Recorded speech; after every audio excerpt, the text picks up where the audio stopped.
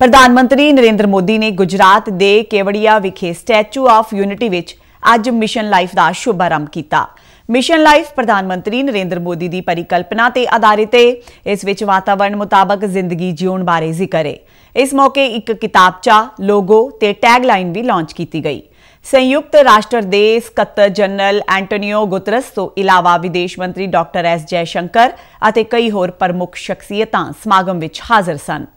ਆਪਣੇ ਸੰਬੋਧਨ ਵਿੱਚ ਪ੍ਰਧਾਨ ਮੰਤਰੀ ਨਰਿੰਦਰ ਮੋਦੀ ਨੇ ਸਾਰਿਆਂ ਨੂੰ ਵਾਤਾਵਰਣ ਦੀ ਰੱਖਿਆ ਲਈ ਜੀਵਨ ਸ਼ੈਲੀ ਵਿੱਚ ਬਦਲਾਅ ਦਾ ਸੱਦਾ ਦਿੱਤਾ ਉਹਨਾਂ ਕਿਹਾ ਕਿ ਜੀਵਨ ਸ਼ੈਲੀ ਵਿੱਚ ਬਦਲਾਅ ਨਾਲ ਜਲਵਾਯੂ ਪਰਿਵਰਤਨ ਨੂੰ ਘਟ ਕੀਤਾ ਜਾ ਸਕਦਾ ਹੈ ਜਲਵਾਯੂ ਪਰਿਵਰਤਨ ਦੇ ਖਤਰੇ ਨਾਲ ਨਜਿੱਠਣ ਲਈ ਭਾਰਤ ਦੀ ਵਚਨਬੱਧਤਾ ਦੁਹਰਾਉਂਦਿਆਂ ਪ੍ਰਧਾਨ ਮੰਤਰੀ ਮੋਦੀ ਨੇ ਕਿਹਾ ਕਿ ਮਿਸ਼ਨ ਲਾਈਫ ਸਾਨੂੰ ਵਾਤਾਵਰਣ ਦਾ ਰਾਖਾ ਬਣਨ ਲਈ ਉਤਸ਼ਾਹਿਤ ਕਰਦਾ ਹੈ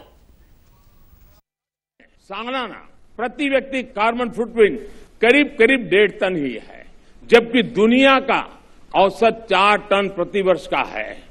फिर भी भारत क्लाइमेट चेंज जैसी वैश्विक समस्या के समाधान के लिए सबसे आगे आकर काम कर रहा है। इसने उज्ज्वला योजना शुरू की ताकि कोयले और लकड़ी से धुएँ से मुक्ति मिले।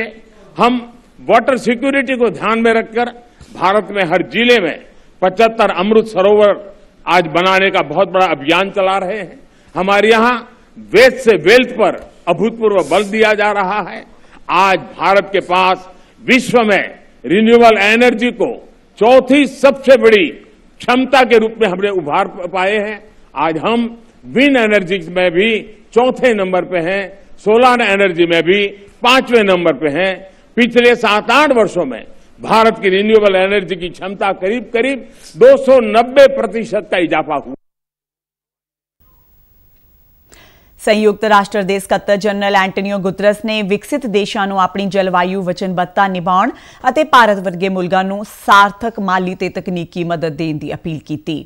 ਉਹਨਾਂ ਧਰਤੀ ਦੀ ਰੱਖਿਆ ਲਈ ਹੱਲ ਲੱਭਣ ਵਾਲੇ ਵਿਅਕਤੀਆਂ ਤੇ ਭਾਈਚਾਰੇ ਦੀ ਹਿੱਸੇਦਾਰੀ ਤੇ ਵੀ ਜ਼ੋਰ ਦਿੱਤਾ।